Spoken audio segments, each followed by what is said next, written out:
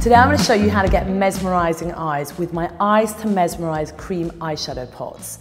And what's so incredible about these cream eyeshadow pots, apart from the texture just being divine and so easy to use, you can get just literally these mesmeric eyes in just a couple of minutes, literally with a finger.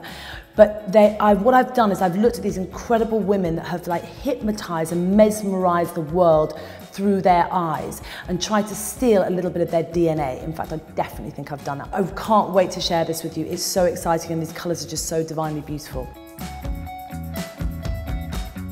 This shade is called Veruschka and I'm extremely proud of this shade that I've come up with because it's got this wonderful different sort of tonalities through it that really looks kind of so mesmeric on the eyes. It's got sort of green, mossy, grey, oyster, uh, gold. It's just, it's truly divine. And um, it's very much inspired by the 1970s iconic model Veruschka.